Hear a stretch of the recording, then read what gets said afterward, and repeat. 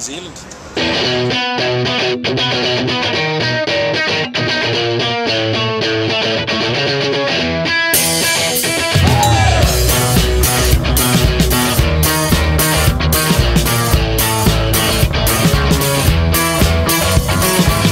I'm back in Liverpool and everything seems the same. Got to give it to the New Zealand Safety Board. They haven't half gone a bit mental with the amount of layers, glasses, hats, scarves, waterproofs that I'm wearing to make sure that I don't get wet while chasing From my mistake, let's dance to Joy Division and celebrate the irony. Everything is going wrong, but we're so happy. Let's dance to Joy Division and raise our glass to the ceiling. Cause this could all go so wrong, but we're just so happy. Yeah, we're so Apparently, we're going to be seeing a lot of this kind of stuff in New Zealand, but it doesn't change the fact that the first time you see it, it's still pretty breathtaking. So if you're ever feeling down, grab your In punk poo, you can dress up as whatever you want.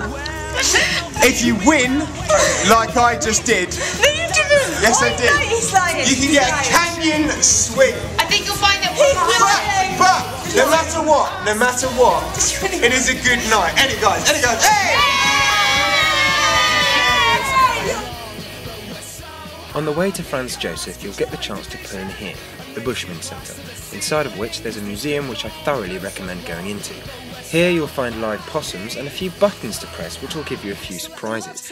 The people who work here have a fantastic sense of humour, and you can find a few complaints letters that they received, and you can read the responses that they gave.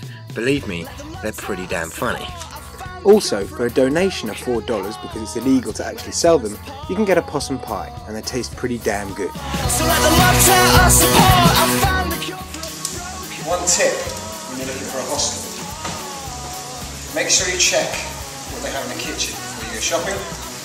Otherwise, you will end up trying to shallow fry chips and then burning the crap out of them. The Franz Josef Glacier on the west coast of New Zealand, there are hundreds of walks that you can do around the mountains. And we're going on one that's about an hour and a half to ten. It's just, uh, just outside of town.